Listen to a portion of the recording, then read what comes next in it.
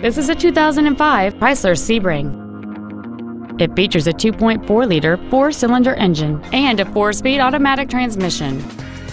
Its top features include solar tinted glass, a split folding rear seat, cruise control, a CD player, aluminum wheels, a passenger side vanity mirror, tinted glass, halogen headlights, a full-length floor console, and an anti-theft protection system. We invite you to contact us today to learn more about this vehicle